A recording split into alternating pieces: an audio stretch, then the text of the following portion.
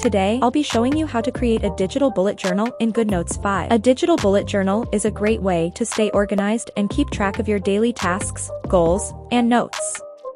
GoodNotes 5 is a popular note-taking app that allows you to create digital notebooks that you can customize to fit your needs. Step 1. Create a new notebook. Open GoodNotes 5 and tap the plus sign to create a new notebook.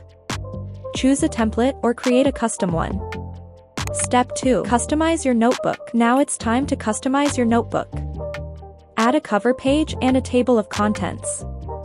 You can also add pages for your monthly, weekly, and daily spreads. Step 3. Add your monthly spread. To add a monthly spread, create a new page and use the Shape tool to create a calendar. You can also add a habit tracker and a goal tracker.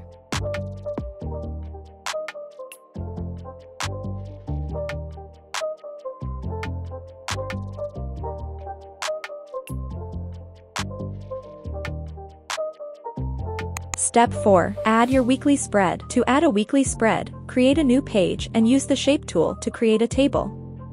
Add the days of the week and space for your to-do list and notes. Step 5. Add your daily spread. To add a daily spread, create a new page and use the Shape tool to create a table or a checklist.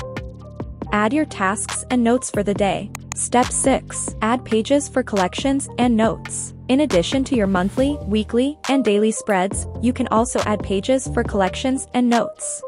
Use the Shape tool to create headers and bullets for your collections and notes. Step 7. Customize your pages. To make your digital bullet journal even more personalized, you can add stickers, washi tape, and other digital decorations. GoodNotes 5 has a built-in library of stickers and you can also download more from the internet. And that's it. With these 7 steps, you can create a digital bullet journal in GoodNotes 5. I hope you found this tutorial helpful.